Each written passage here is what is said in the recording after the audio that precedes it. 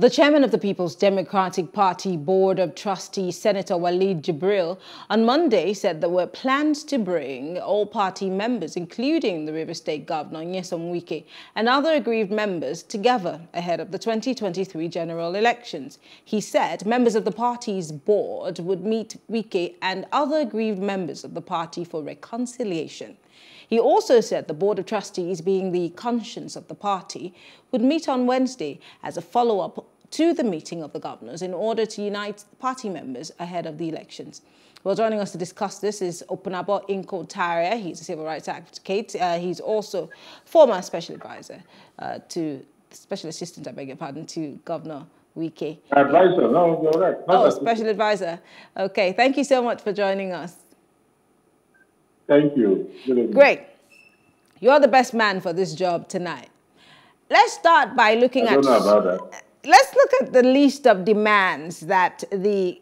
In fact, let's give. Let's backtrack. Let's look at the reason why we're here. First things first. Governor Wike, as we all know, contested to be a candidate for the PDP as a presidential candidate. Now, he obviously came second. Now, Atiku is now the flag bearer. And he did pick Governor Okowa um, as his running mate, even though there were rumors that it was Wike that would have been the favored one. But here we are today, few weeks later, we're still talking about the, uh, the grievances within the party. And Governor Wike seemed to have been quiet for a bit uh, immediately after, um, you know, that particular, uh, you know, election. Many have said that Governor Wike did not deserve the treatment that he got from the former Vice President Atiku Abubakar. Others are saying that, well, Governor Wike has been the soul of the PDP, even when it was abandoned by the others who would have been also um, the bigwigs. And they're saying this should have been an opportunity for him to be rewarded for his good work. But I'm asking you, what are your thoughts? Is this supposed to be a reward system like kind of party politics? Or is it about the man who the cap fits? Well, um, the choice of the candidate, especially that of a running mate, is planned on a plethora of um, issues. And those issues are as defined by the principal, that's the candidate himself. In this case, we are talking of Atiku Abubakar. Atiku Abubakar, oh, so sorry. For some reasons, opted for Okowa. Some of these reasons are in public domain. Some are just uh, mere conjectures because Atiku has apart from the day of the selection, where he said he made uh, rain economics on Okowa, I don't think he's really made any comment again, made any statement again on the issue of his running mate. But you see, I must tell you this, yes. Yes, is the one weekend was more or less, I said was, because the button has changed, was more or less the pillar of this party, the financier of that party. And so a lot of people argue that for what he has done for the party, to sustain and maintain the party, he should be, excuse me, rewarded with the presidency. Or the, at least the vice president presidential uh, slot haven't lost the presidential slot.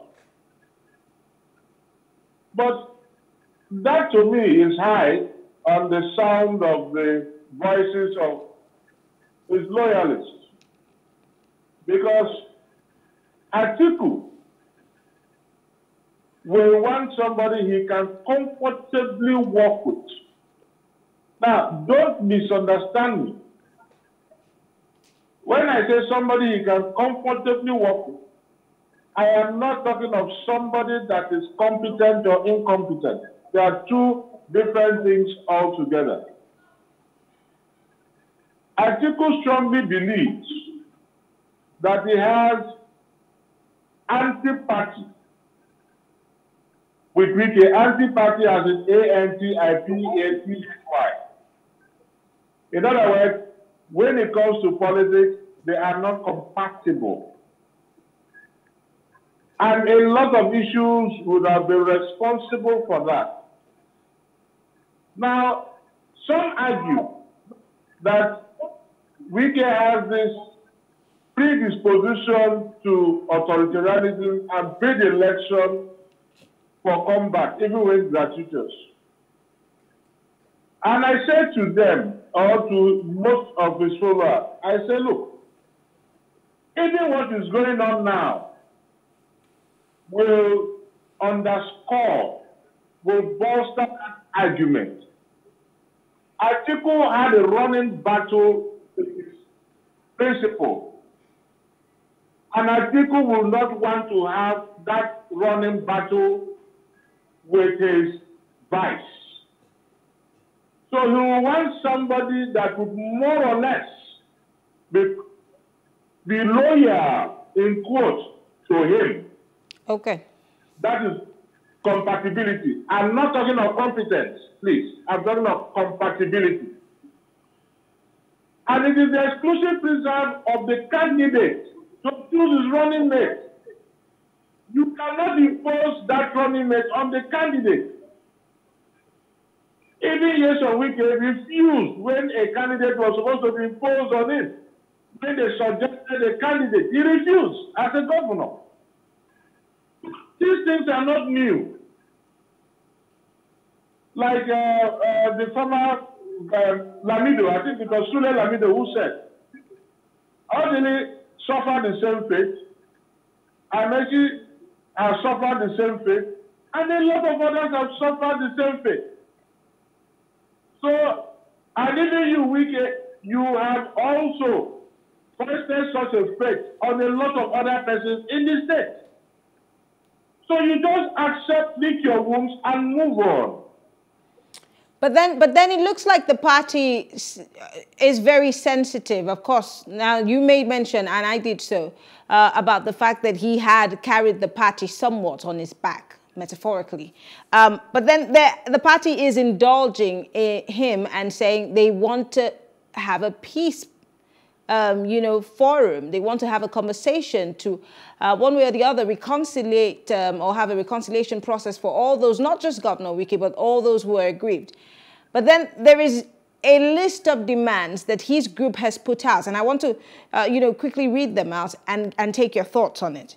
Now, they're, first and foremost, they're seeking for a single term from the former Vice President Atiku Abubakar. They're asking for the party national chairman, Iyorchia Ayu, to step down as chairman. And, and then they're also asking for certain positions in the National Assembly leaderships. Uh, and, and these are some, a few of the things that the, the group, uh, the Wike group, is pushing forward. Let's look at them realistically and politically and how achievable, or if you would even get a nod from the BOT and that panel or that reconciliation uh, team that would be sent. Please, as I go ahead with analysis, you remind me. Let's start with the single term.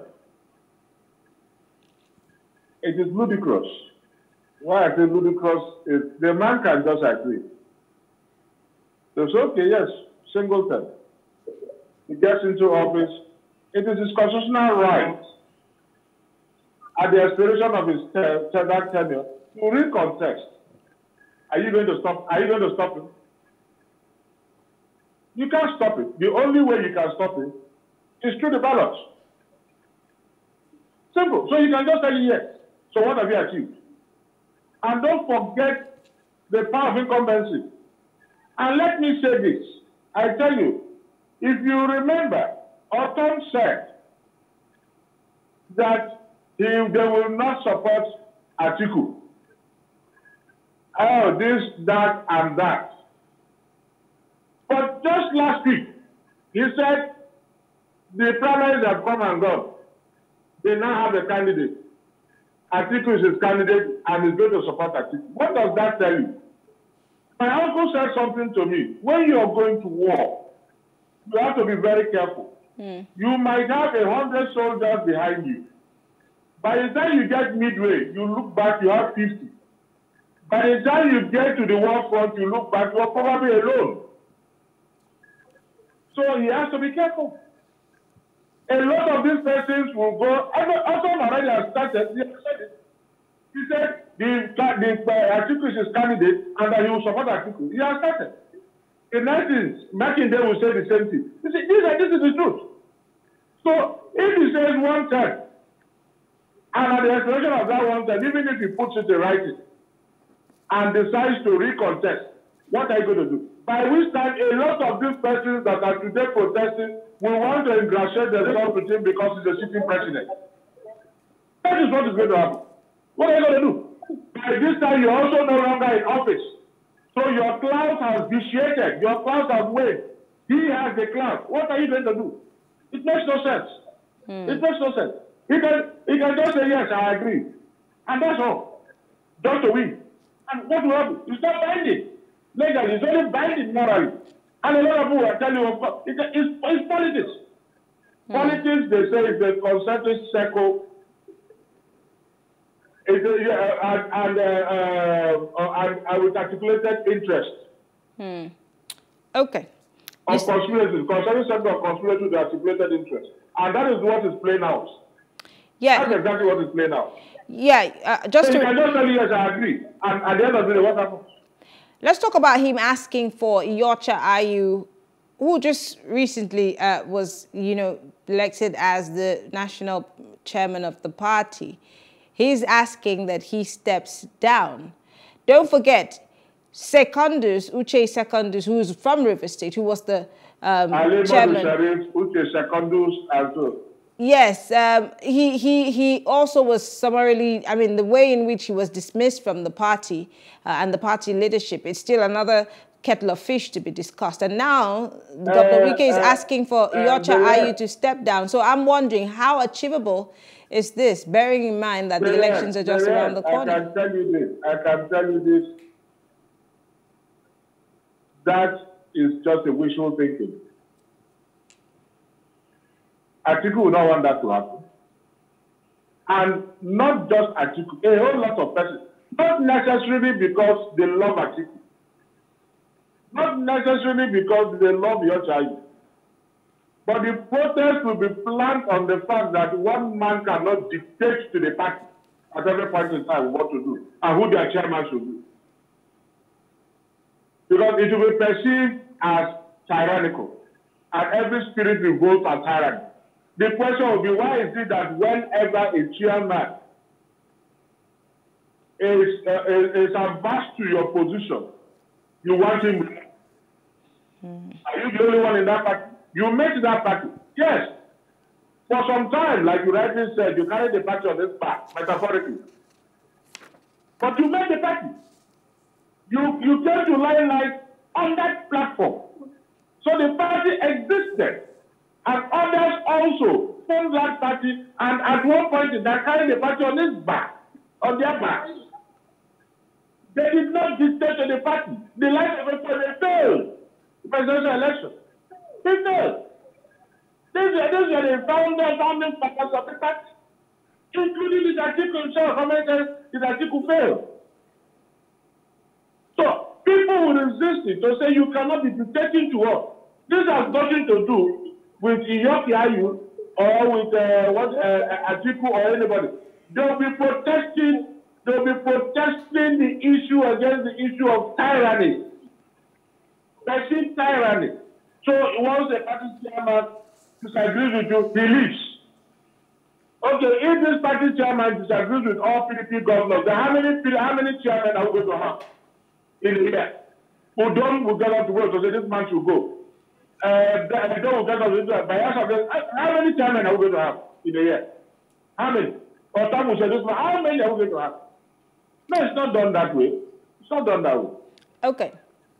You said something about the relevance uh, and the political clout of Governor Wike after he does leave office. Let's let's zoom in on that.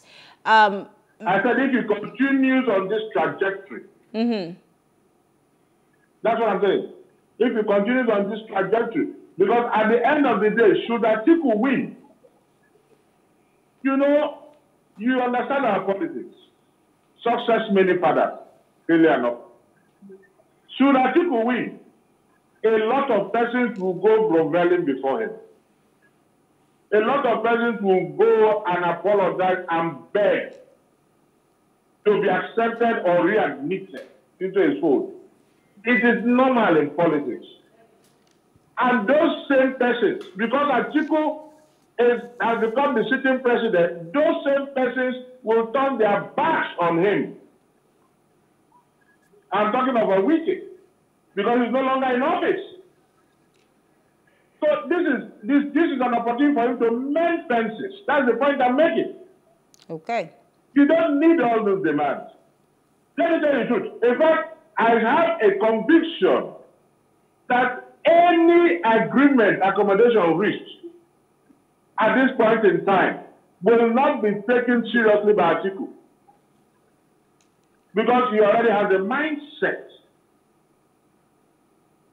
It will not be taken seriously. He might just agree and say, okay, let me win this election first. We should, you shouldn't have taken it this far. You shouldn't have. Mm. No, it's not necessary. Finally, this big batting and uh, in, in, in deeper than goes, that's completely unnecessary. Finally, what, what, what if you were to give your two pence to the Governor Wike team, you know, being that this meeting, uh, we know that there is a, a, BOT meeting that's going to happen. We know that there's a panel that's being set up, etc., etc. What should Governor Wike and his camp and members of his camp be thinking?